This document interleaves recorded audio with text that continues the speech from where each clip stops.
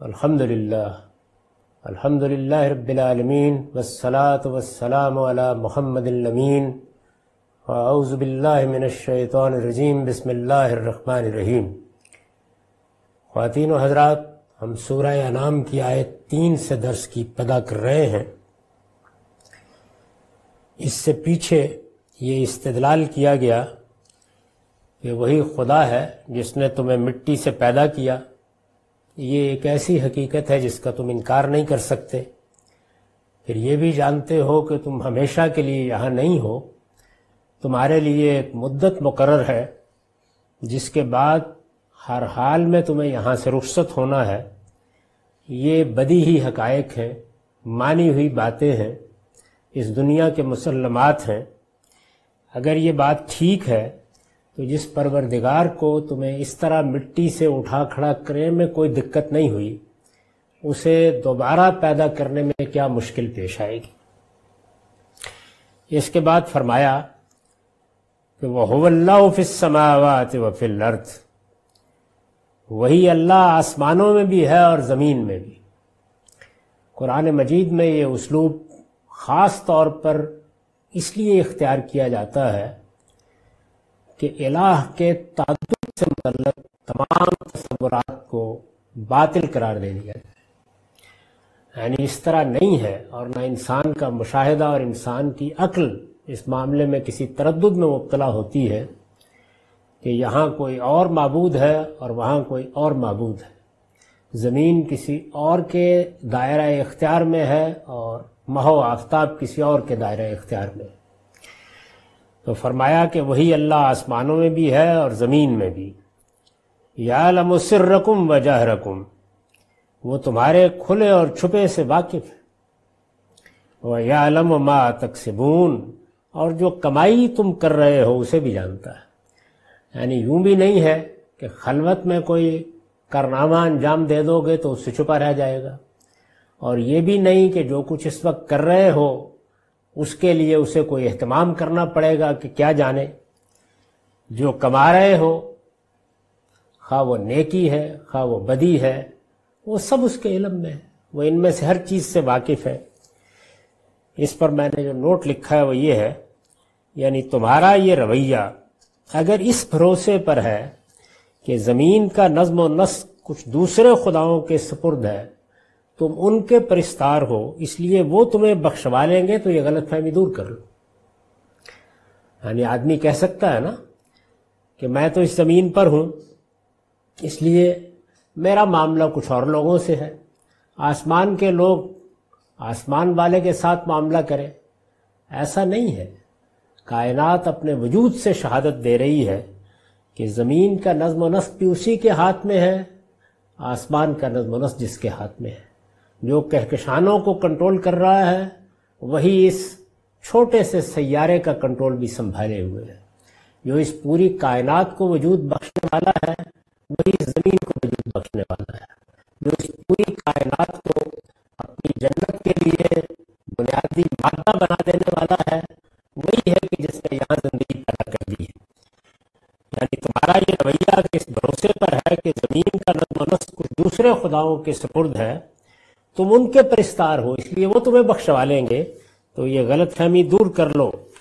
ज़मीन व आसमान दोनों का खुदा एक ही यानी ये वो बदी हकायक हैं जिनकी तरफ़ कुरान मजीद तवज्जो दिलाता है। सादा हकायक, इन्हीं पर उसके सारे इस्तदलाल की बुनियाद है। दोनों का खुदा एक ही है और दोनों में उसी का हुक्म चल रहा है। तुम्हारे खुले और छुपे सब अहवाल भी उसके इलम में है। और तुम्हारे अमाल से भी वो पूरी तरह वाकिफ है। किसी में यारा नहीं कि उसके इल्म में कोई इजाफा कर सके। मुतनबे हो जाओ, उसकी बारगाह में किसी शफात बातिल की कोई गुंजाइश नहीं। ये वो आखिरी बात है जिसके लिए ये सारी बात उठाई गई। यानी कहना ये मकसूद है कि इंसान बहुत सी चीज़ों को मान लेता है, लेकिन गलत रवि के लिए कोई ना कोई बहाना भी तराश लेता है। और शफात बातिल का अकीदा उन्हीं बहानों में से एक बहाना है। यानी हम ज़मीन पर जो करते रहे करते रहे फला हमें बख्शवा लेंगे। इसका मुंतहा कमाल मसीहियों का अकीदा एक कफ़ारा है। यानी इंसान चूँकि गुनाह से निकल नहीं सकता तो इस वजह से खुदा ने अपने बेटे को भेजा कि वो अपनी जान देकर इंसान के गुनाहों का कफ़ारा अदा कर ले। कफ़ारा शफात बातिल ये वो चीज़ें जिनसे इंसान सहारा पकड़ता और फिर उस हकीकत का इनकार कर देता है, अमली तौर पर इनकार कर देता है। यानी मानता है कि क़यामत बर्पा होगी, लेकिन अमली तौर पर इनकार कर देता है। तो इर्शाद फरमाया कि वयालम मा तकसिबून, और जो कमाई तुम कर रहे हो उसे भी जानता है। वमा तातीम मिन आयतिन मिन आयात रब्बिहिम कानू अनहा मोरदीन। लोगों का हाल ये है कि उनके पास, उनके परवरदिगार की निशानियों में से जो निशानी भी आती है, वो उससे मोह मोड़ लेते हैं। यानी ये निशानियाँ जो अनफस आफाक में फैली हुई हैं, ये तो हैं, जो मुसलमात इंसान की अक्ल अब तक दरियाफ्त कर चुकी है, वो भी सामने है। लेकिन इंसान इन निशानियों का भी इनकार करता और अगर अल्लाह ताला की तरफ़ से कोई और निशानी दिखाई जाए तो उससे भी मोह मोड़ लेता है। चुनाचे इस वक्त अल्लाह ताला की तरफ़ से अल्लाह का रसूल आ गया है। अल्लाह के सच्चे पैगंबर ने, आखिरी पैगंबर ने इस कौम को इतमाम हजत के लिए मंतखब किया है। ये अल्लाह का इंतखब है जिसके तहत वो इन पर भी अपनी हजत पूरी करेगा और इसको आलमी सतह पर भी इतमाम हजत का अहतमाम बना देगा। तो फरमाया कि ये खुदा की अजीम निशानी भी आ गई, लेकिन फ़कत कज्जबू बिल हक के लम्मा जाहुम। सो उन्होंने इस वक्त भी हक को जुटला दिया है, जबकि वो इनके पास आ गया है। यानी एक तो यह है ना कि हक की बात कहीं दूर से सुनी, कहीं तारीख में देखी, कहीं लोगों ने तवज्जो दिलाई, वो इनके पास आ गया है। और इशाद फरमाया फसऊफ़ा याति ही मम्बाऊ मा कानू बही यस्तून इसलिए अनकरीब उस चीज़ की खबरें उनके पास आ जाएँगी, जिसका वो मज़ाक उड़ाते रहे। यानी किस बात का मज़ाक उड़ाते रहे? खुदा का आजाब वो अजाब जो रसूलों की बेसत के बाद उनकी कौमों पर आता है, उसका मज़ाक। वो अजाब जो आखरत में पेश आने वाला है, उसका मज़ाक। तो फरमाया कि इसलिए अनकरीब उस चीज़ की खबरें उनके पास आ जाएँगी जिसका वो मज़ाक उड़ाते रहे हैं। यहाँ दो चीज़ों को वाजे किया है। एक तो ये कि ये जो फरमाया कि सोनों ने इस वक्त भी हक को जुटला दिया है। फ़कत तो इसमें हक से क्या मुराद है? ज़ाहिर है कि कुरान मजीद, यानी हक से कुरान मजीद मुराद अल्लाह की किताब आ गई। अल्लाह का पैगंबर आया है और अल्लाह की किताब लेकर आया है। अल्लाह की किताब अल्लाह का पैगंबर एक ही चीज़ है। यानी अल्लाह ताला अपने रसूल को भेजता है किस लिए? ताकि लोगों को बशारत दी जाए, उन्हें खबरदार कर दिया जाए। उनके साथ अपनी किताब नाजिल कर देता है। इस वजह से पैगंबर वो किताब पेश करता है। उस वक्त रसालत में आप वसल्लम ने जब दावत पेश की है तो क्या सूरत हाल पेश आई है? तो कुरान मजीद ये कहता है कि अब ये एराज के लिए, गुरेज के लिए अब ये बहाने तराश रहे हैं। उनका एतराज़ात और मुतालबात की सूरत में जवाब दिया जा रहा है। तो फरमाया कि तुम पर पैगंबर, अगर हम कोई ऐसी किताब उतार देते जो कागज़ पर लिखी हुई होती और ये उसको अपने हाथों से छू कर देख भी लेते लमसो लकाल न कफरू इन हाजा इल्ला सहर मुबीन तब भी ये मुनकरीन यही कहते कि ये खुले हुए जादू के सिवा कुछ नहीं है इस पर मैंने लिखा यानी एराज का सबब चूँकि वो नहीं जो बयान कर रहे हैं यानी एराज का सबब दाराना भी हो सकता है आपको एक बात समझ में नहीं आई आप उसको समझना चाहते हैं तो कुरान मजीद ये कह रहा है कि चूँकि जो बात बयान कर रहे हैं अपने एराज का जो सबब पेश कर रहे हैं, हकीकत में वो नहीं है, बल्कि ये है कि अपनी ख्वाहिशों के खिलाफ कोई बात मानना नहीं चाहते। यही इंसान की कमज़ोरी होती है। बल्कि यह है कि अपनी ख्वाहिशों के खिलाफ कोई बात मानना नहीं चाहते, इसलिए इनका ये मुतालबा पूरा भी कर दिया जाए। क्या मुतालबा? यानी ये ये क्या किताब हुई? आप पर नाजिल हो जाती है, हमें नहीं मालूम कब आ जाती है। जबरीली अमीन आपसे मिलते हैं। हमें तो आप आसमान से उतरी हुई किताब दिखाइए, कागज़ पर लिखी हुई हम उसको छू कर देखें, वो आसमान से आई है फिर हम मान भी लेंगे? तो फरमाया कि ये मुतालबा अगर पूरा भी कर दिया जाए तो इसी तरह की बातें करेंगे। यानी ये मुतालबा पूरा करोगे, एक दूसरा ले आएँगे। इस एतराज़ का जवाब दोगे, एक दूसरा एतराज़ पेश कर देंगे। क्योंकि वो रवैया नहीं है कि जो बात समझने वालों का होता है, जो दयानतदारी से किसी चीज़ के बारे में इश्काल महसूस करते हैं, उसको पेश करते हैं। अपने इश्कालात भी पेश करते मुखलसिन भी पेश करते मोहम्मद रसोल्ला पर ईमान लाने से पहले भी बहुत से लोग थे कि जिन्होंने सवाल किए हैं आए हैं मजलिस में बैठे हैं ये सब होता था कुरान मजीद के बारे में कोई चीज़ उनके दिल में पैदा होती थी तो उसको सामने रखते थे सवाल करना एतराज़ करना बात पूछना अगर दाराना हो तो इससे इल्म के दरवाजे खुलते हैं। लेकिन जिस वक्त इंसान बहानाबाजी पर उतर आए तो फिर ये रवैये सामने आते हैं। मैंने लिखा है, याद रहे कि उसी तरह के मुतालबे का जवाब है, जो अहले किताब की ज़ुबान से सूरह नसा की आयत एक सौ तिरपन में नकल हो चुका है। यानी वहाँ सूरह नसा में यह बताया गया है कि अहले किताब ने भी यही कहा कि हमें तो आसमान से बरह रास्त कोई किताब उतरती हुई दिखाई है, उसके बाद हम इसको मान लेंगे। उस पर भी कुरान मजीद ने यही तबसरा किया कि इससे पहले भी किताबें नाजिल होती रही। ये तो जानते हैं कि किस तरह नाजिल होती रही है, कि अल्लाह ताला ने यह तरीका इख्तियार किया था। और ये हकीकत है कि उन किताबों को पाकर भी इन्होंने जो रवैये इख्तियार किए थे, वो भी कोई ऐसे रवैये नहीं थे कि जिसको आज ये फख्र के साथ पेश करें। ये पहले भी अल्लाह की बात से, अल्लाह के कलाम से, अल्लाह की किताबों से, अल्लाह के हकाम से इसी तरह एराज करते रहे हैं। अब भी उसी तरह एराज कर रहे हैं। तो वहाँ भी ये मुतालबा अहले किताब के हवाले से नकल हुआ है। और यहाँ पर कुरैश मक्का के हवाले से या रिसालत वसल्लम की कौम के हवाले से नकल हुआ है, जिनको सबसे पहले दावत दी, जिनमें आप मबूस हुए, जिनके लिए गोया आप खुदा की अदालत बनकर आए। तो इरशाद फरमाया कि ये उसके बाद भी यही कहते कि ये तो कोई जादू है जो हम पर कर दिया गया, खुला हुआ जादू। यानी हमें ये महसूस हो रहा है कि किताब आसमान से आई है, हम इसके और आग को छू कर देख रहे हैं, ये हकीकत में वो चीज़ नहीं है जिसका दावा किया जा रहा है। वह कालू लौला मलक। कहते हैं कि इस नबी पर अलानिया कोई फरिश्ता क्यों नहीं उतारा गया? यानी फरिश्ता इनके पास आता है, इन्हीं के पास बैठता है, इन्हीं पर वही करता है। न हमने देखा, न हमने उनसे मुलाकात की। तो ऐसा क्यों नहीं हुआ कि फरिश्ता अलानिया आसमान से उतरता हुआ नज़र आता, वो आके इनके साथ मुकालमा करता? हम भी देख लेते, उसके बाद ये सारी बहस खत्म हो जाती। इरशाद फरमाया वलजल मलकल जरून ये अहमक नहीं समझते कि अगर हमने कोई फरिश्ता उतार दिया होता तो अब तक फैसला हो जाता। ये देखिए, एक ही जुमले में किस शान के साथ उस स्कीम को वाजे किया है। इस दुनिया में तुम्हें इल्म अक्ल और आमाल के इम्तहान के लिए भेजा गया है। अल्लाह ताला ये देख रहे हैं कि तुम हक के मामले में क्या रवैया इख्तियार करते हो। खुदा की तरफ़ से आने वाली हिदायत के बारे में क्या रवैया इख्तियार करते हो? खुदा ने जो हिदायत तुम्हारी फितरत में वदियत कर रखी है, उसके मामले में क्या रवैया इख्तियार करते हो? इसके लिए ये दुनिया बर्पा की गई है। तो खुदा की इस स्कीम के लिहाज से तो ये हिजाब ऐसे ही रहना है।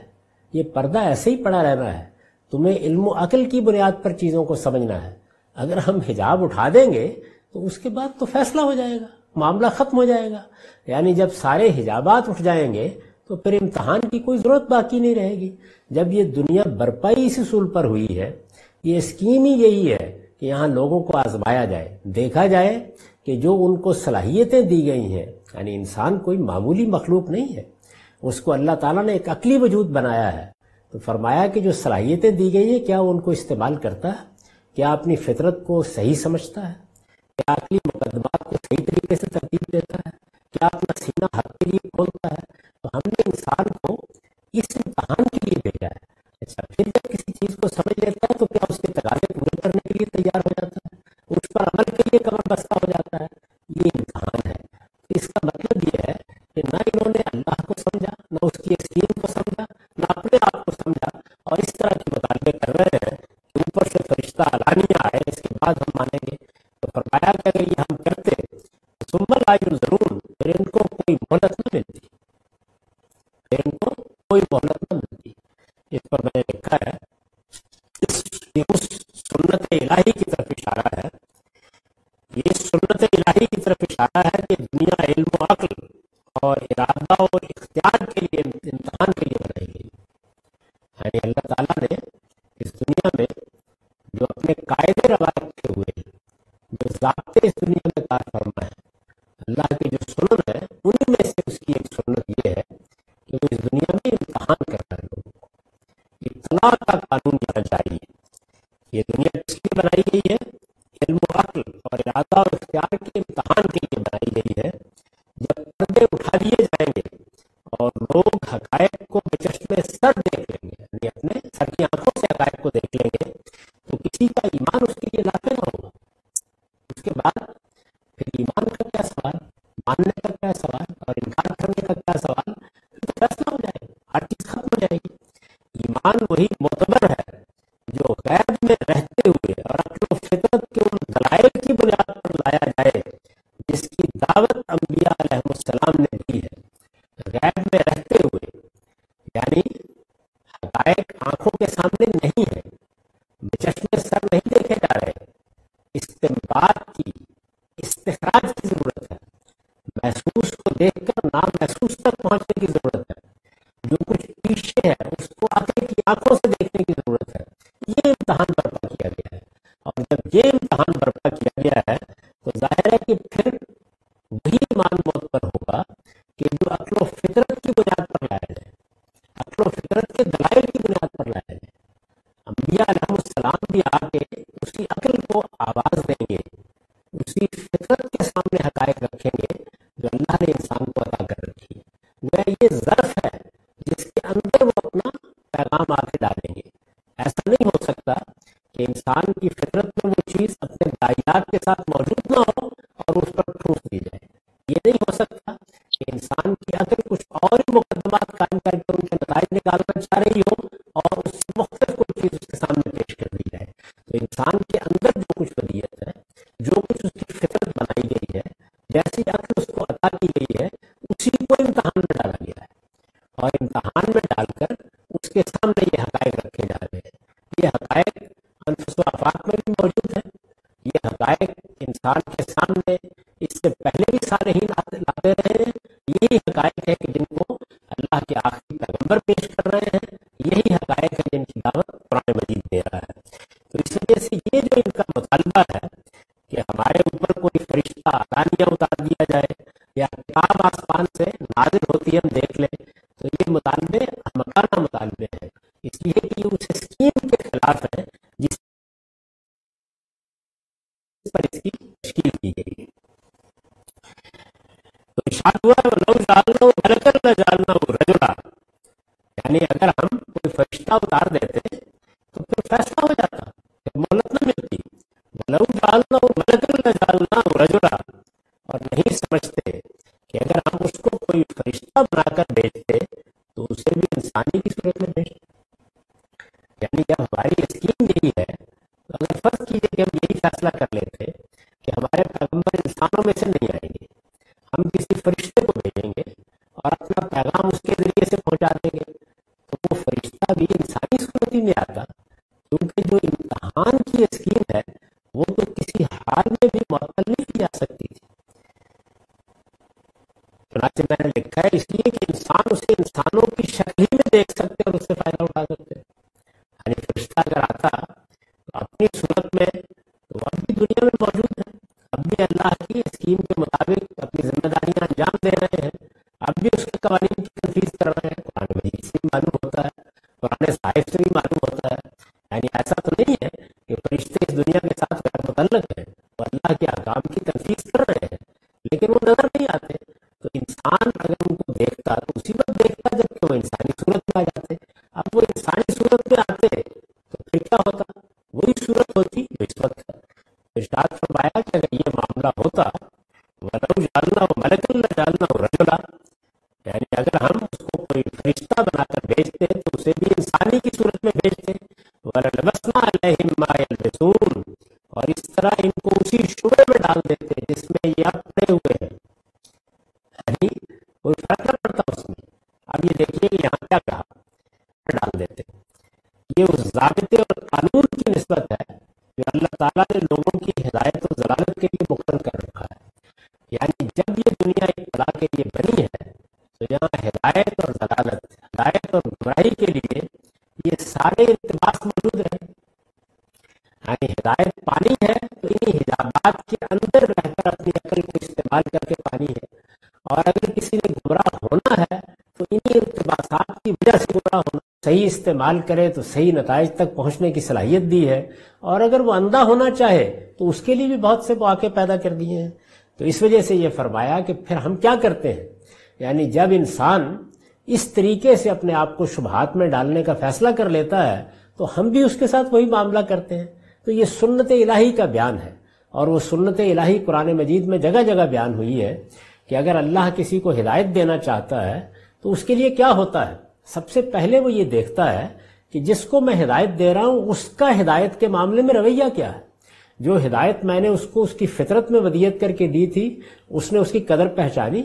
जो अनफस व आफाक में उसके लिए निशानियाँ थी, उनको उसने देखा। अगर किसी मौके पर उसे किसी सही बात की तरफ़ मतवजे किया गया तो उसने उसको उस तरह सुना जिस तरह के एक साहिब अक्ल इंसान को सुनना चाहिए, एक दयानतदार इंसान को सुनना चाहिए। अगर वो ऐसा है तो अल्लाह ताला फिर उसको शुभात से निकालते हैं, उसके लिए अपनी हिदायत की राहें खोलते हैं। वो जो बयान किया है ना कि वल्लजीन जाहदू फीना सबलाना। यानी जब अल्लाह की राह में इंसान जिद्दोजहद करना शुरू कर देता है। अल्लाह की राह में जिद्दोजहद का पहला मरहला उसकी बात को जानने की जद्दोजहद है। मेरा परवरदिगार मुझसे क्या चाहता है? उसकी मेरे लिए क्या हिदायत है? उसने मेरे लिए क्या हकायक खोले हैं? वो किन चीज़ों को मुझसे मनवाना चाहता है? किन चीज़ों पर मुझे अमल पैरा होते देखना चाहता है? जब इंसान इन तमाम हकायक को इस तरह से देखता है तो अल्लाह ताला उसके लिए हिदायत के रास्ते खोलते हैं।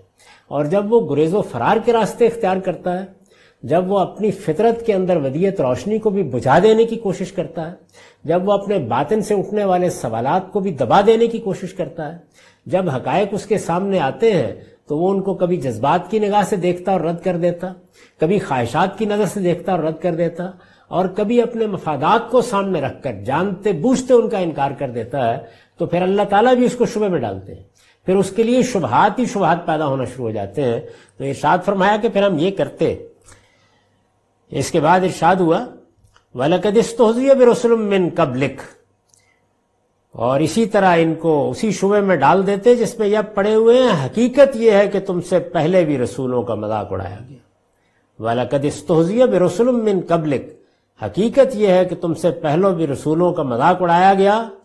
फ़हा कबिल्लजीन सखरू मिन मा कानू बही तो उनका मज़ाक उड़ाने वालों को उसी चीज़ ने आ घेरा, जिसका वो मज़ाक उड़ाते थे। ये मैं अर्ज़ कर चुका हूँ कि कुरान मजीद का उसलूब ये होता है कि इसमें कभी तो तारीख के शवाहद पेश किए जा रहे होते हैं उन पर तफसील होती है। और जब अनफस आफाक के दलाइल हों तो बीच बीच में ये तंबी आती चली जाती है। तो इस सूरा में भी यही अंदाज है।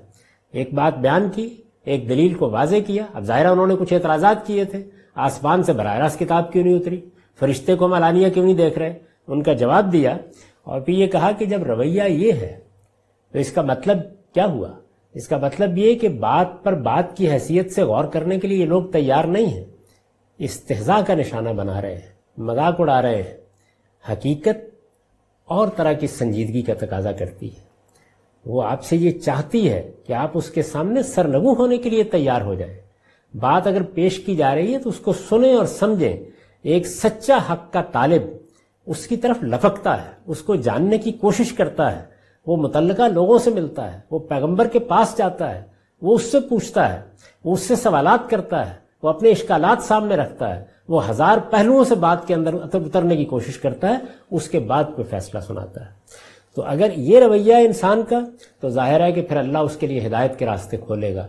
और अगर वो मज़ाक उड़ाता है तो फिर तहदीद के अंदाज में फरमाया कि हकीकत ये है कि तुमसे पहले भी रसूलों का मज़ाक उड़ाया गया। यानी ये नए नहीं है मज़ाक उड़ाने वाले। इससे पहले भी बहुत सी कौमें हैं जिनकी तरफ़ अल्लाह के रसूल आए, और उन्होंने इसी तरह अपने रसूलों का मज़ाक उड़ाया तो फिर उन मज़ाक उड़ाने वालों का अंजाम क्या हुआ? ये गोया तहदीद है, तवज्जो दिलाई है, तंबीह की है अपने मुखातबीन को कि तुम्हारा मामला ये नहीं है कि कोई जैद बकर तुम्हारे सामने आकर अल्लाह की हिदायत वाजे कर रहा है। अल्लाह का रसूल आ गया है। और अल्लाह का रसूल जब आता है तो फिर मज़ाक उड़ाने वालों को यूँ ही छोड़ दिया नहीं जाता। फहा का बिल्लजीन सखिर मिन मा कानू बही अस्ताजून तो उन, उनका मज़ाक उड़ाने वालों को उसी चीज़ ने आ घेरा जिसका वो मज़ाक उड़ाते थे। ज़ाहिर है कि मज़ाक किस चीज़ का उड़ाते थे? कि अच्छा अभी आदाब की धमकियाँ दे रहे हैं। अब और कोई बात नहीं सूझती तो कहते हैं कि आसमान से तुम पर आफत टूट पड़ेगी। इसका मज़ाक उड़ाते। तो फरमाया, फिर वही आफत आ गई। जो कुछ कह रहे थे, वो इनके साथ हो गया। जिस चीज़ का मज़ाक उड़ाते थे, उसी ने इनको आ घेरा कुल सीरू फिलर सुमंजरू कई फकान आ के बतुल मुकजबीन इनसे कहो जरा ज़मीन में चल फिर कर देख लो कि जुटलाने वालों का अंजाम क्या हुआ है। ज़ाहिर है कि अरबों के हाँ ये तारीख गुजर चुकी थी वो इससे वाकिफ थे। खुद उनके हाँ वो बस्तियाँ मौजूद थी आद की बस्तियाँ समूद की बस, बस्तियाँ। तो फरमाया कि फिर जाओ ज़मीन में चलो फिरो देखो कि जुटलाने वालों का अंजाम क्या हुआ। ये वही तारीख की इस्तलाल है। उसी की बुनियाद के ऊपर तहदीद की गई है। इस सूरा में तारीखी हकायक की तरफ़ ऐसे तवज्जो दिलाई जाएगी बार बार और असल मसला वही दावत के उसलूब में आगे बढ़ता चला जाएगा। चुनाचे देखिए बिल्कुल ऐसा ही हुआ। यानी एतराज़ात का जवाब दिया। एतराज़ात का जवाब देने के बाद बात आगे बढ़ गई। और जब आग, बात आगे बढ़ी तो फिर अब ये बताया जा रहा है कि वही अनफुस की निशानियाँ वही आफाक की निशानियाँ तुमसे किसी और ही रवैये का मुतालबा करती यानी बार बार गोया तवज्जो दिलाने का उसलूब होगा। ये यहाँ पर जो ये कहा है कि जुटलाने वालों का अंजाम क्या हुआ है? जाओ, जाकर देख लो। तो मैंने लिखा है कि ये सिर्फ़ इजमाली इशारा है। यानी वही इस सूरा के उसलूब के लिहाज से इजमाली इशारे ही होंगे। इसकी तफसील आगे सूरह आराफ में आएगी। वहाँ पर आप देखेंगे कि यही जो इस्तलाल है, या यही जो तहदीद है, इसकी तफसील होना शुरू हो जाएगी। यानी अब अल्लाह ताला उन पैगंबरों की दास्तानें सुनाएँगे, वो वाकयात तफसील से बयान करेंगे उन कौमों ने किस जराइम का इरतकब किया, उसकी वजाहत करेंगे और फिर ये बताएँगे कि अल्लाह का फैसला कैसे उनके लिए सादिर हुआ। तो मैं अर्ज़ कर रहा था कि यहाँ बात पहुँची तो फिर उसके बाद वही सब चीज़ें। कुल्ल मन माफिस समावात वलर्द इनसे पूछो, ज़मीन और आसमानों में जो कुछ है वो किसका है? ये मुखातबीन के लिहाज से इस्तेलाल है। वो अल्लाह को मानते हैं। यानी ये मानते हैं कि इस कायनात का एक परवरदिगार है। फरमाया कि ये ज़मीन और आसमान में जो कुछ है, इनसे पूछो किसका है? कह दो अल्लाह ही का है। यानी ये जवाब खुद ही दिया है। चनाचे इसकी वजाहत पर मेरा नोट है कि सवाल के बाद मुखातब की तरफ़ से जवाब का इंतज़ार किए बगैर, खुद ही जवाब देने का यह उसलूब उस वक्त इख्तियार किया जाता है जब मुखातब के लिए इनकार की गुंजाइश नहीं होती। कुरान मजीद खुतबात की ज़ुबान में, मुकालमे की ज़ुबान में गुफ्तु हो रही है। तो गोया एक सवाल उठाया। सवाल क्या था? कुल्ल मन माफिस समावात बलर्स इनसे पूछो ज़मीन और आसमानों में जो कुछ है वो किसका है? खुद ही जवाब दिया कुल्ला कह दो अल्लाह ही का है। तो ये कब उसलूब इख्तियार किया जाता है? जब मुखातब के लिए इनकार की गुंजाइश नहीं होती और सवाल से मकसूद भी असलन उसके किसी मुसलमा की तरफ़ तवज्जो दिलाना होता है।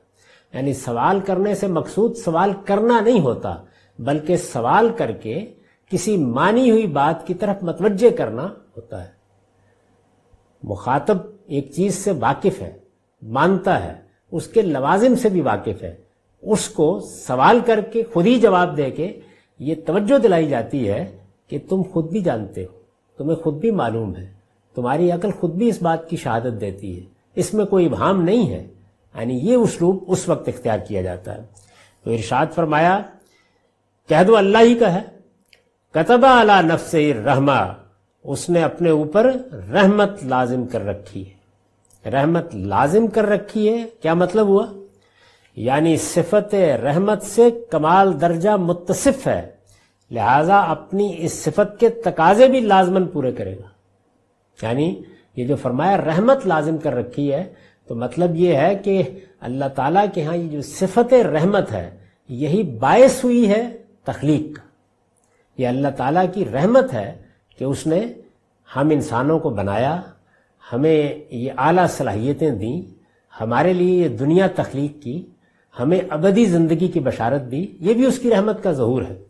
और ज़ाहिर है कि जब वो कमाल दर्जा इस रहमत से मुतसिफ है तो ये कभी नहीं हो सकता कि वो यहाँ रहमान हो और वहाँ रहमान ना हो। उसकी रहमत यहाँ भी है, वहाँ भी है, इब्तदा में भी है, इंतहा में भी है। यानी वो सरासर रहमत है। कुरान मजीद का यही पहलू है कि जिसको सामने रख कर वो जब सूरा शुरू करता है तो उसमें जो इब्तदाई आयत है, वो क्या है? रहीम हर सूरा के शुरू में, सवाए सूरह तौबा के, और उसमें ये बात पहले वाजे की जा चुकी है कि गोया अल्लाह ने अपने पैगंबर को ये हुक्म दिया है कि आप ये कुरान पढ़कर सुनाएँ अल्लाह रहमान और रहीम के नाम से, जो सरासर रहमत है, जिसकी शफकत अबदी है। तो इरशाद फरमाया कि ये इनसे पूछो और इनको बताओ कि अल्लाह कौन है? उसने अपने ऊपर रहमत लाजिम कर रखी हुई है। लयजमान को मिला यौमिल क्यामत, ला रह बफी वो तुम सबको जमा करके ज़रूर रोज़े क्यामत की तरफ़ ले जाएगा, जिसमें कोई शुबा नहीं। यानी अब ये देखिए क्या खूबसूरत इस्तलाल किया है। पहले ये फरमाया कि ज़मीन आसमान में जो कुछ है, वो सब अल्लाह का है। तुम जानते हो इस हकीकत से वाकिफ हो। इसलिए यहाँ पर तो अब किसी शिरक की कोई गुंजाइश नहीं है। अब ये देखो कि वो ज़ात बारी किन सिफात से मुतसिफ है। उसकी सबसे बड़ी सिफत रहमत है। रहमत ही है जो तुम्हारे वजूद का बायस बनी है। ये कैसे हो सकता है कि वो ये जुल्म करे कि तुम्हें शूर दे, तुम्हें खैर शर से आगाह रखे, तुम्हारे अंदर ये सलाहियत पैदा करे कि तुम खैर को भी इख्तियार कर सको, शर को भी इख्तियार कर सको। तुम्हारे अंदर ये सलाहियत भी हो कि तुम इन दोनों के दरम्यान में फ़र्क को समझो, इसकी बुनियाद पर फैसले करो और फिर वो तुम्हें मौत पर हमेशा के लिए ख़त्म कर दे। ये कैसे हो सकता है? तो उसकी रहमत जिस तरह तुम्हारे वजूद में आने का बायस बनी है, बिल्कुल उसी तरह तुम्हारी ज़िंदगी का, दूसरी ज़िंदगी का बायस भी बनेगी। वो कयामत में तुम्हें उठाएगा और वहाँ उठा खड़े करेगा। इसके ऊपर एक तफसीली नोट है। उसको सुन लीजिए। असल अल्फाज है लयजमन को मिला योमिल क्यामा। यानी वो तुम्हें जमा करेगा और फिर उसके बाद आया, इला योमिल क्यामा। ये इला का सिला यहाँ इस्तेमाल हुआ है। इनमें इला का सिला दलील है कि यहाँ कोई लफ्ज हाँकने और ले जाने के मानी में महजूफ है। वह पूरी बात यूँ है कि वो तुम सबको जमा करके ज़रूर क्यामत की तरफ़ ले जाएगा। तो वो ले जाना, हाँक ले जाना, वहाँ पहुँचा देना, वो मफहम इसके अंदर गोया मुजमर है, छुपा हुआ है। उस्ताज इमाम अमीन हसन इसलाई ने इसकी तफसीर में लिखा है, कयामत का आना खुदा की सिफत रहमत का लाजमी तकाजा है। यानी ये जो फरमाया कि उसने अपने ऊपर रहमत लाजिम कर रखी है, वो तुम्हें लाजमन क्यामत की तरफ़ ले जाएगा। रहमत के तकाजे के तौर पर क्यामत को बयान किया है तो क़यामत का आना खुदा की सिफत रहमत का लाजमी तकाजा है। अगर क़यामत ना आए तो इसके मानी ये है कि इस कायनात का खालिक रहमान और रहीम नहीं है।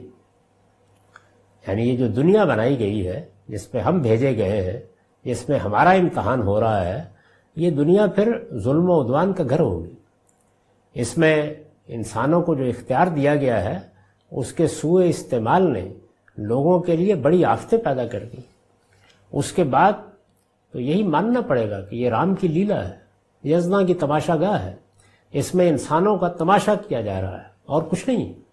अगर इस कायनात के खालिक के बारे में ये तस्वुर हो कि वो एक जालिम बादशाह है माजल्ला और ये देख रहा है, यानी अपने हाँ कुछ कैदियों को उसने बैठा रखा हुआ है, कुछ शेरों को उन पर छेड़ छेड़ रखा हुआ है, और तमाशा देख रहा है तो फिर तो ठीक है।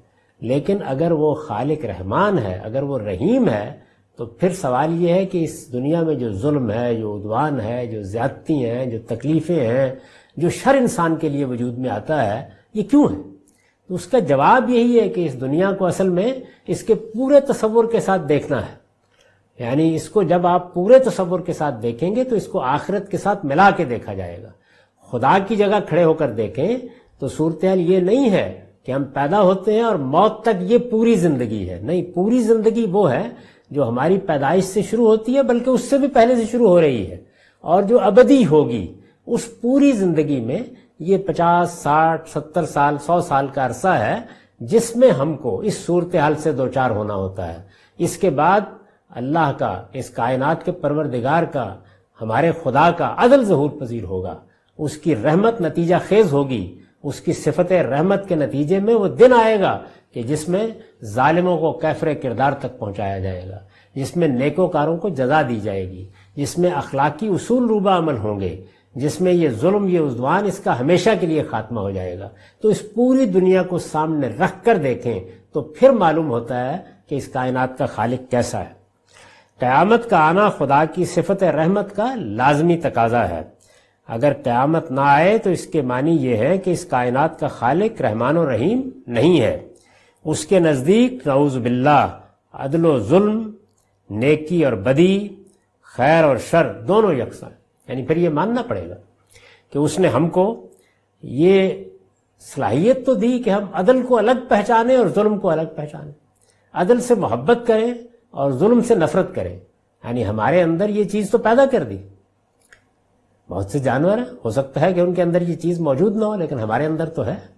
हमारा ज़ाती रवैया, हमारा ख़ानदानी रवैया, हमारा माशरती रवैया, हमारा समाजी रवैया, हमारा सियासी रवैया, आलमी सतह पर हमारे इदारे सब इस बात की शहादत दे रहे हैं कि हम अदल को अलग देखते हैं, जुल्म को अलग देखते हैं। अदल को पसंद करते हैं, जुल्म से नफरत करते हैं। नेकी और बदी। ज़ाहिर है कि नेकी और बदी की बात चीज़ें तो बिल्कुल बदी है। कौन कहेगा कि मिलावट करनी चाहिए? कौन कहेगा धोखा देना चाहिए? कौन कहेगा फरेब देना चाहिए? कौन कहेगा लोगों का माल लूटना चाहिए? कौन कहेगा लोगों की हक तलफी करनी चाहिए? कौन कहेगा लोगों की जान माल आबरू को नुकसान पहुंचाना चाहिए? तो ज़ाहिर है कि नेकी और बदी का ये शौर भी आलमी, आलमगीर है। हम सब जानते हैं इस बात को। इसी पर हमारा सारा नज्म कायम है। ये चीज़ अगर है तो फिर मानना पड़ेगा ना कि इसके खालिक के नज़दीक जो फ़र्क हम महसूस कर रहे हैं, वो नहीं है। क्योंकि वो तो यहाँ पर बदी को भी उसी तरह मौका दे रहा है, नेकी को भी उसी तरीके से मौका दे रहा है, बल्कि बदी को ज़्यादा दे रहा है। शर के लिए मौके ज़्यादा खुले हुए हैं। वो जिसको सैदना मसीह इस्लाम ने बयान किया था कि नेकी की राह तंग है और बदी की राह बहुत कुशादा है। तो इस वजह से उधर चलने वाले भी थोड़े होते हैं, इधर चलने वाले भी बहुत होते हैं।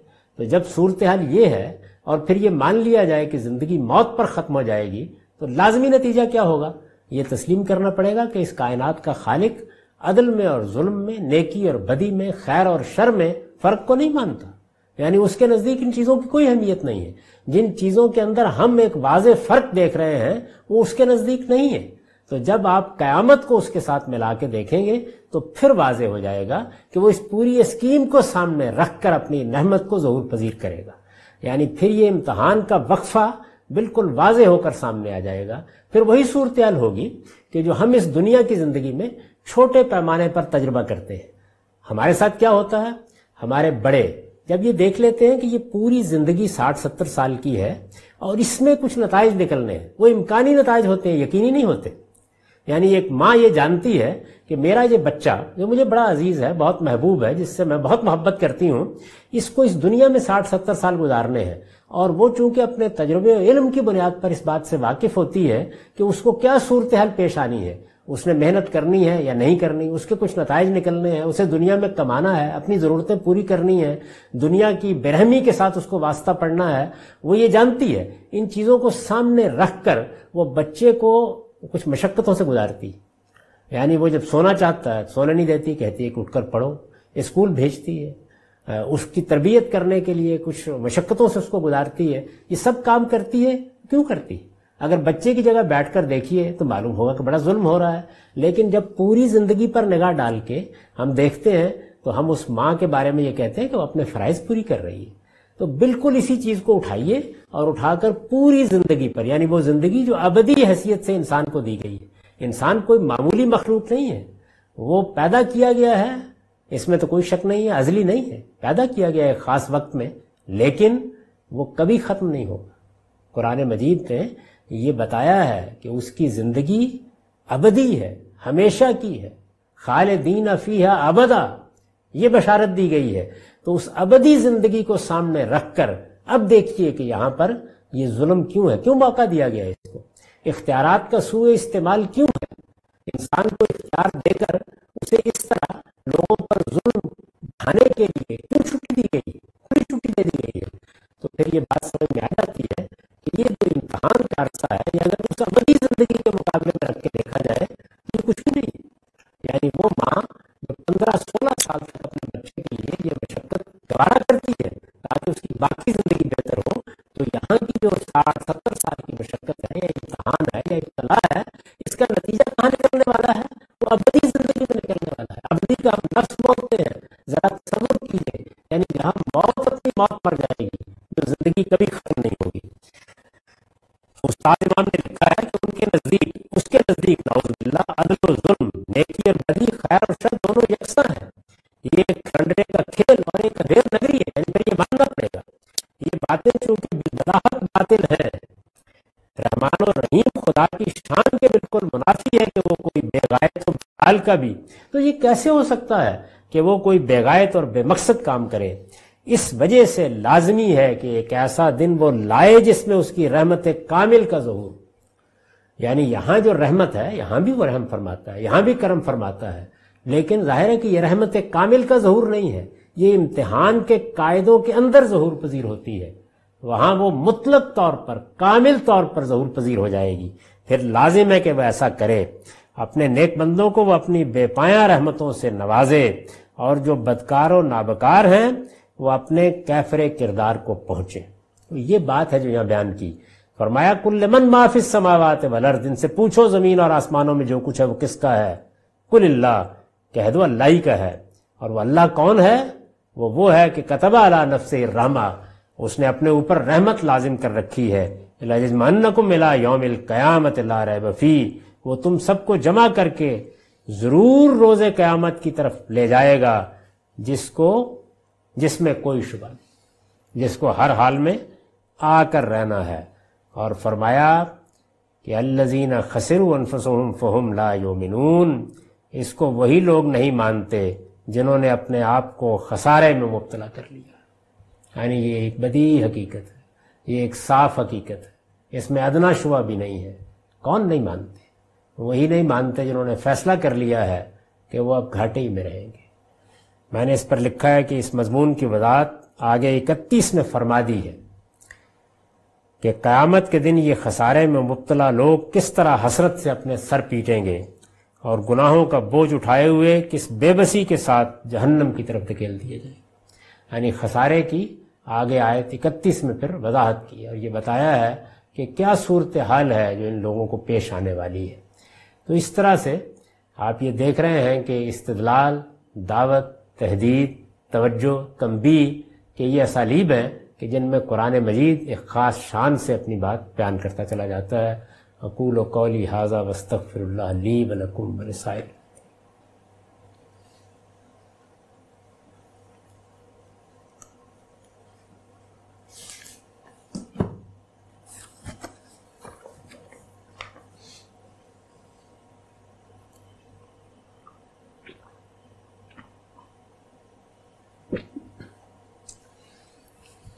बसमीम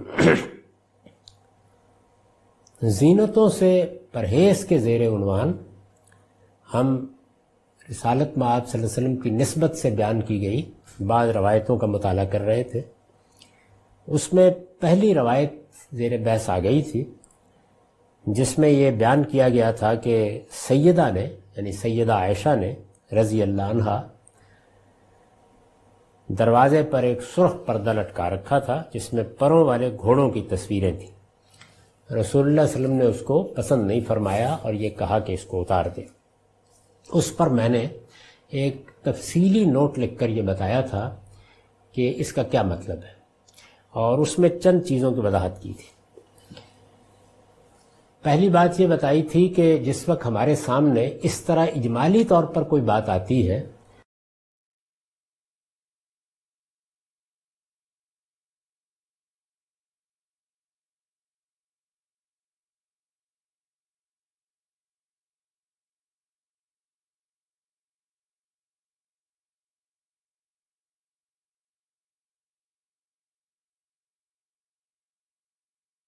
तारीखी जखीरे को हर लिहाज से देखना पड़ता है, किसी नतीजे तक पहुँचने के लिए।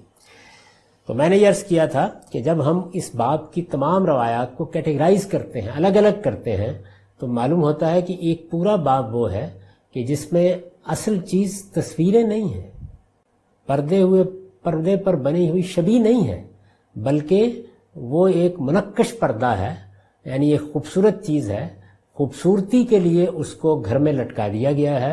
रिसालत माब वसल्लम ने उसको पसंद नहीं फरमाया। उसमें ज़ाहिर है कुछ सवाल पैदा होते हैं। यानी क्या हमारे लिए रिसालत माब वसल्लम का उसवा ये है कि हमें जीनत की चीज़ों से परहेज़ करना है? क्या इंसान को जीनत की चीज़ें इस्तेमाल नहीं करनी चाहिए?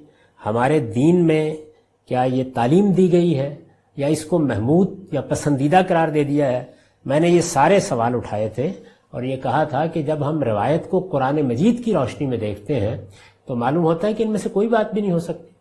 क्योंकि कुरान मजीद बिल्कुल सरी लफ्ज़ों में ये कह रहा है, सफ़ाई के साथ बयान कर रहा है कि खुदा की जीनतों को हराम कौन कर सकता है। फिर ये बताता है कि ये जीनतें हमने मुनकरों के लिए पैदा नहीं की, ये तो हमने इस दुनिया में अहले ईमान के लिए पैदा की हैं। तो अब कुरान मजीद की इस बात को सामने रखी सूर्य आराफ में बयान किया ना यानी इस बात को वजाहत के साथ बयान करती है। चूँकि कुरान मजीद के मुकाबिल में जो दीन खड़ा है, वो असल में सूफियाना मज़हब है। और सूफियाना मज़हब के मुकदमात बिल्कुल अलग है। वहाँ तो यह कि दुनिया माया का जाल है। इससे आपने हर हाल में अपने आप को अलग रखना है। यहाँ अगर कुछ बरतना है तो बस ज़रूरत की चीज़ों को बरतना है। इसमें जीनतों का, जमालियाती हिस्स की तस्कीन का कोई सवाल नहीं है। कुरान मजीद ने इसकी पूरी शिद्दत के साथ नफी कर दी। और ये कहा कि कुल मन हर्रम जीनत अल्लाह अखराज इबाद ही अल्लाह ने अपने बंदों के लिए जो जीनतें पैदा की हैं, किसने उनको हराम ठहराया? है और हराम ठहराया ही तक बात नहीं रही। ये कहा कि यार आमन फिर हयात दुनिया दुनिया की ज़िंदगी में यह अहले ईमान के लिए। यानी आखिरत में तो सिर्फ़ उनके लिए हो जाएँगी, यहाँ भी उन्हीं के लिए पैदा की गई हैं। उनके तुफैल मुनकरों को मिलती हैं। तो गोया जीनतों के बारे में अपना पूरा तस्वुर बयान कर दिया। और फिर उसके बाद आखिर में बता दिया कि हमने तो हराम सिर्फ़ पाँच चीज़ें की हैं, खाने पीने की चीज़ों के अलावा। तो ना रिस्क के तय बात हराम है, यानी यूँ नहीं है कि आपको अगर घासी से अपना पेट भरकर जीने का मौका मिल जाता है तो आपको किसी खुश जायका चीज़ की तरफ़ तवज्जो नहीं करनी चाहिए। इस तरह के जो मुतसफ़ाना या सूफियाना मजाहब हैं, उनकी नफ़ी की है कुरान मजीद ने। और ये बताया है कि नहीं, ये अल्लाह की नेमतें हैं, इस दुनिया में दौलत है या ये नेमतें, ये खैर है इनको तलाश करने के लिए निकलना, ये अल्लाह के फजल को तलाश करना है तो ये तो नहीं हो सकता। यानी कुरान मजीद ने जब एक चीज़ वाजे कर दी है तो कोई चीज़ उसके खिलाफ नहीं हो सकती। तो इस वजह से ये मैंने सवालात उठा दिए थे और ये कहा था कि ये मानी तो हो नहीं सकते। अब सवाल क्या है? तो होता यह है कि जो रवायतें हैं, वो हमेशा इतलाकी होती हैं। यानी देखना चाहिए कि जो बात बयान की जा रही है, वो किसके बारे में है? किस जगह की है? किस मौके की है? यानी उनमें उसूल नहीं बयान होते। उसूल तो बयान हो गए। तो रिसालत माब वसल्लम ने ये जो रवैया इख्तियार किया, यानी जीनतों से परहेज का, फ़कीराना ज़िंदगी का, मैंने ये बताया है कि इसका कौन सा मौका है। तो रसूलुल्लाह वसल्लम की ज़िंदगी को अगर आप देखें तो आपकी ज़िंदगी मक्के में एक मुतमबिल ताजर की ज़िंदगी थी। वहाँ इस तरह की कोई चीज़ आपको नज़र नहीं आएगी। आप अच्छी ज़िंदगी बसर करते थे। आपके दस्तरखान के बारे में भी बहुत आला बातें हैं जो रवायतों में बयान हुई हैं, तारीख में बयान हुई हैं। बाद में भी सूरत हाल में बहुत तब्दीली आ गई, लेकिन ये एक दौर है, यानी आपने हिजरत की है। हिजरत करने के बाद अब आप पैगम्बराना हैसियत से भी आगे बढ़ के आप उस पूरी की पूरी कौम के हुक्मरान भी बन गए। अब आप एक ज़िम्मेदारी अदा कर रहे हैं। आपकी वजह से लोग आए हैं। उनके लिए आपने मुआक़ात कायम की। उनमें से बहुत से महाजरीन हैं जिनको गोया एक महाजर कैंप में रखना नागुजीर हो गया है। वो महाजर कैंप वही मस्त नबी में है। पास ही आप रहते हैं। वहीं से सारा नज्म चलाया जा रहा है। तो आपने फैसला किया कि अब आपके यहाँ, आपके घर में जीनतों से परहेज की ज़िंदगी बसर की जाएगी। यानी गोया एक उसवा कायम किया। तो मैंने ये बताया था कि रिसालत में आप वसल्लम ने ये जो ज़िंदगी इख्तियार की, चुनाचे सारे अरसे में आपने अपने और अपने घर वालों के लिए जीनतों से परहेज की यही ज़िंदगी इख्तियार किए रखी। ये जिसकी तस्वीर ऊपर आई है कि एक पर्दा भी गवारा नहीं है। और इस तरह मुसलमान हुक्मरानों के लिए, यानी जो मुसलमानों के हुक्मरान हों, उनके लिए ये उसवा क़यामत तक के लिए कायम कर दिया कि रफाइयत के ज़माने में, यानी अगर कौम में खुशहाली है, वो इमरजेंसी नहीं है सूरत हाल अच्छी है तो दाऊद सलेमान की तरह बेशक सरहम ममरदुम मिन कवारीर तामीर करे। यानी जैसे उन्होंने शीशे के महल बनाए, जिनमें मलखाए बिल्किस भी देहाती होकर रह गई, बेशक तामीर करे, कोई माने नहीं है उसमें, और उनमें बादशाहों की ज़िंदगी जिए। मगर जब उन कौमों के जिम्मेदार बना दिए जाएँ, जिनके गुरबा अपने बच्चों की तालीम, इलाज मुआलजे और दो वक्त की रोटी के लिए तरसते हों तो उनकी ज़िंदगी इसी तरह फकीराना होनी चाहिए। ये उसवा कायम किया। खिलाफत और हुकूमत के जिम्मेदारों के लिए यही मिनहाज नबूत है। इसी को रिसालत में आप वसल्लम ने मिनहाज नबूत यानी खुदा के पैगंबर अगर इस तरह के हालात में ज़िम्मेदारी संभालें तो हुकूमत करने का उनका मिनहाज, उनका तरीका क्या होगा? ये मिनहाज नबूत अल्लाह के आखिरी पैगंबर ने कायम किया। और खलफा राशदीन की हुकूमत को इसी बिना पर खिलाफत अला मिनहाज नबुआ कहा जाता है। यानी उन्होंने इसी की पैरवी की। वो इसी तशवीश पे रहे। आपको मालूम है कि सैयद उमर के ज़माने में कहत पड़ गया और बहुत से हालात पेश हुए तो उन्होंने अपने आप को इसी मकाम पर रखा। ये कहीं सैयद उस्मान के ज़माने में जाकर हालात में तब्दीली आनी शुरू हुई है। तो एक तो ये बात वाज तौर पर समझ लेनी चाहिए कि इसमें जो उसवा बयान हुआ है, वो किन के लिए है? और रिसालत माब वसल्लम ने ये ज़िंदगी क्यों इख्तियार की? रवायतों को कुरान मजीद की रोशनी में जब रख कर नहीं देखा गया तो बाज मुतलक तस्वुरात उनसे बरामद कर लिए गए। जहाँ के, जहाँ तक कि ये चीज़ें जो हैं, ये एक पैरल दीन की सूरत इख्तियार कर गई। यानी कुरान मजीद और तालीम दे रहा है, और मकासद बयान कर रहा है कुरान मजीद से ये बात बिल्कुल वाज हो जाती है कि आप इस दुनिया में आए हैं जद्दोजहद कीजिए, दौलत कमाइए, खैर समेटिए, ये अल्लाह की नेमतें हैं, इनको इस्तेमाल कीजिए। इंसान को सिर्फ़ ज़रूरतों तक महदूद नहीं रहना होता, उसको अल्लाह ने हिस्से जमालियात दी है, वो जीनतें भी इख्तियार करेगा, चीज़ों को बनाएगा भी, संवारेगा भी, जीनतों के मुख्तलिफ़ पहलू हैं, वो आवाज़ की भी जीनत है, वो घरों की भी जीनत है, वो शहरों की भी जीनत है, इमारतें भी बनेंगी अजीम शान इमारतें वजूद में आएँगी, सब होगा। लेकिन ये गरीबों की सूरत हाल की खराबी की कीमत पर नहीं होगा। और जो लोग जिम्मेदार बनाए गए हैं, बहरहाल उनको ये देखना होगा कि इस वक्त की सूरत हाल क्या है। अगर एमरजेंसी की सूरत हाल है, जैसी रिसालत में आप वसल्लम को दरपेश थी महाजरीन की वजह से तो फिर हुक्मरानों का, जिम्मेदार लोगों का रवैया क्या होना चाहिए और उन्हें किस हद तक फकीराना ज़िंदगी इख्तियार कर लेनी चाहिए, इसको बयान की इसके बाद दूसरी रवायत है आयशत कालत दखला रसूल वसल्लम वफिल बैत सितर मनसूब तसावीर फ़ी वजह फ़कुल्त आउज़ बिल्ला गज़बिल्ला व गज़ब रसूल कालत फ़ातकतु फ़ाखस्तु फ़जालतु बिरफ़कतैन फ़काना यरतफ़िको बेहमा फ़ी बैत ही आयशा रज़ी अल्लाह की रवायत है कि रसूल वसल्लम मेरे यहाँ तशरीफ़ लाए तो घर में एक पर्दा लटका हुआ था जिस पर तस्वीरें बनी थी मैंने महसूस किया कि आपके चेहरे पर गुस्से के आसार हैं। चुनाचे फ़ौरन अर्ज़ किया, मैं अल्लाह के गज़ब और अल्लाह के रसूल के गज़ब से अल्लाह की पनाह मांगती हूँ। वो कहती है कि फिर मैंने उसको फाड़ा और उसको लेकर उसके दो तकिए बना लिए तो नबी वसल्लम अपने घर में उनसे टेक लगाकर बैठा करते थे। यानी वो पर्दे की जगह इस्तेमाल किया गया तो आपने नागवारी महसूस की। इसलिए कि वहाँ मुजर्रद जीनत पेश नज़र थी। उसी को उन्होंने फाड़ा, काटा और उनसे दो तकिए बना लिए, जो एक इस्तेमाल की और ज़रूरत की चीज़ थी। तो आप बैठते भी थे और आपने इस पर कोई एतराज़ भी नहीं किया। मैंने लिखा, ये इसलिए कि अब वो कपड़ा जीनत के बजाय ज़रूरत की एक चीज़ के लिए इस्तेमाल किया गया था। गोया आपने अपने तर्ज अमल से ये बताया कि ज़रूरत के हद तक तो बहरहाल चीज़ें होंगी। तकिया भी चाहिए, बिछोना भी चाहिए, कहीं लेटना भी है, बैठना भी है, लेकिन बस जहाँ तक हम महदूद रहेंगे। इसलिए कि मेरे ऊपर जो जिम्मेदारियाँ हैं, उनके लिहाज से मुझे अपने मामला करने हैं। तो एक शानदार उसवा कायम किया। उसी की तफसीलात आगे की रवायतों में भी आएँगी और आप ये देखेंगे। लेकिन उन बुनियादी मुकदमात को जहन में रखिए कि रवायत हमेशा इतलाकी होगी। उसको एक सूरत हाल के अंदर रखकर देखा जाएगा और कुरान मजीद जब एक फ्रेम मुतन कर देगा तो उससे तजावज़ नहीं होगा। इससे यह हकीकत मजीद वाज होती है कि कुरान इसका मोहताज नहीं है। कि उसे किसी दूसरी चीज़ की रोशनी में समझा जाए। असल में रवायतें इसकी एहतियाज रखती हैं कि उनको कुरान की रोशनी में समझा जाए। यानी कुरान मजीद बताएगा कि उसका मुद्दा क्या है, उसने इंसानों के लिए किन चीज़ों को जायज़ रखा है, उसकी हरमतें क्या हैं, उन हरमतों के लिए क्या ज़रूरी तकाजे हैं, जीनतों के बारे में उसका नुक़ नज़र क्या है, वो अपने ईमान लाने वालों से क्या चाहता है, ये सारी चीज़ें वहाँ से मुतन हो जाएँगी, फिर उनके अंदर रख कर रवायतों को देखा जाएगा। वह आखिर दावान अलहमदिल्ला रबालमी